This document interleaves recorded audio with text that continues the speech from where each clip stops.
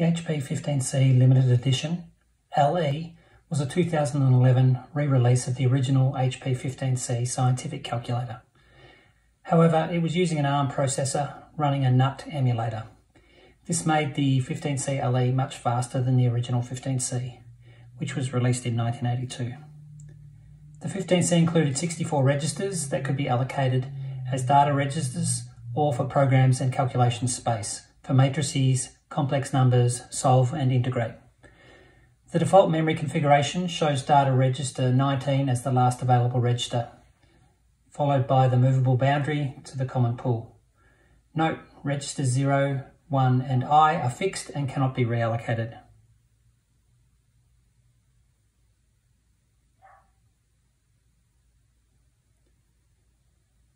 The 15C LE NUT emulator actually allocated 256 registers to the 15C LE. However, the 15C LE only used 64 to provide a faithful reproduction of the original 15C.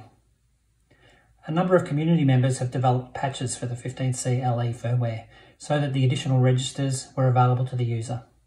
JF Garnier recently made his patch available, which provides a total of 192 registers and is demonstrated in this video. The patch can be applied to any 15C LE firmware, including the release version, or an older version without the pause bug. Use a hex editor to modify the required firmware version and then reflash the 15C LE. This process is shown in my 15C LE pause bug fix video. How I edited the firmware is included at the end of this video. The original firmware default configuration has 19 registers and data registers and 46 registers available for program and calculation space. The original firmware default configuration has 19 data registers and 46 registers available for programs and calculation space, as shown by the mem function.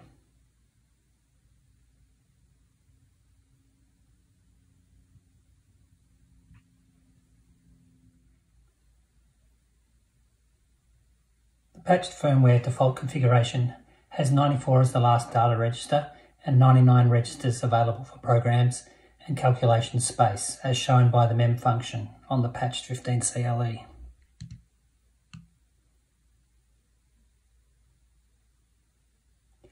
This allows for more registers, larger programs and larger matrices all to be used. For example, the maximum program size is normally 448 bytes or lines with only two data registers available. However, with the patched firmware, you can have 693 byte line program with over 90 data registers or other combinations of the 192 available registers. So we can use register 94 indirectly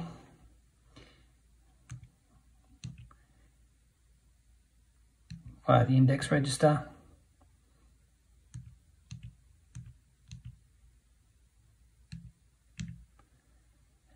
we've stored that value into register 94 and we can recall it.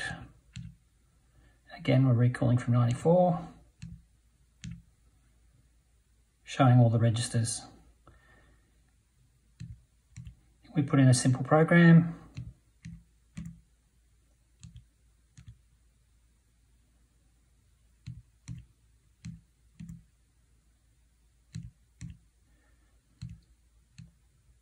we can still see we've got lots of memory left for program space and advanced calculations.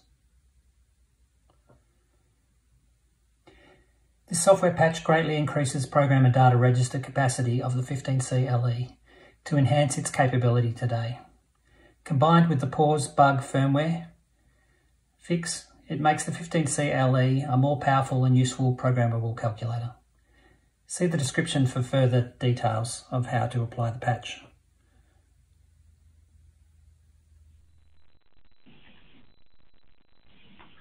I'll now demonstrate how I edited the 15C LE firmware on Windows to apply the memory upgrade patch. The patch is listed in an Excel spreadsheet with the address, the original contents at that address, and the patched contents. All these changes must be applied to provide the memory upgrade feature. There are a number of hex editors available that could be used but I use Notepad++ with the Hex Editor plugin. Once you have installed Notepad++, you then need to install the Hex Editor plugin, which I've already done. If we look in plugin admins, installed, and you can see the Hex Editor plugin is installed. Once the Hex Editor plugin is installed, ensure you configure the options as shown. Uh, you need to use these options exactly to apply the patch file as listed to make sure they are exactly the same. Now open a backup file of the 15C LE firmware.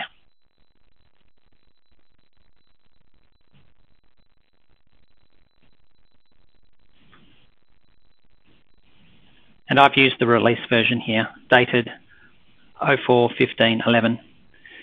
Once the file is open, choose the Hex Editor plugin. And now you can see the file in Hex and ASCII, and you can edit it.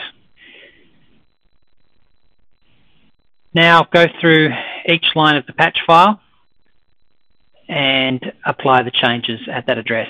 So the first address, 7AC, we scroll to 7AC,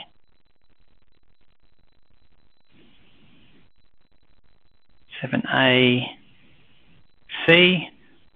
We can see the original contents 00C0 and we need to change that to 0040. So we edit that and continue. The next patch, 7BE, so we go to the next line and look at 7BE, we can see 0310 there, and we need to change that to 0110. Uh, we continue like this, going through all these changes until we've completed it. Once you've completed it, save the file. And if you want to confirm that you've patched the file correctly, you can use a checksum utility such as the certutil built into Windows. So I'm doing an MD5 checksum on the upgraded file that I've already saved and that shows the checksum. So if you follow the same steps on the same file, you'll receive the same checksum.